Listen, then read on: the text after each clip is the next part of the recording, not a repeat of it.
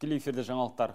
Қызылорда облысында қаржы пирамидасын құрып, тұрғындарды алдап келген 38 жастағы әйелге сот үкімі шықты.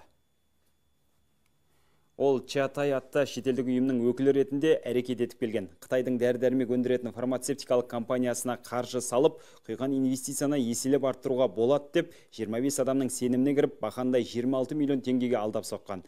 Облыс бойынша экономикалық тергеп тексеру департаментімен күдікті ұсталып, заңсыз әрекет әшкереленді. Қылмыстық іс бойынша кінәсі дәлелденіп, сот 5 жылға бас бостандығынан айыру жазасын тағайындады.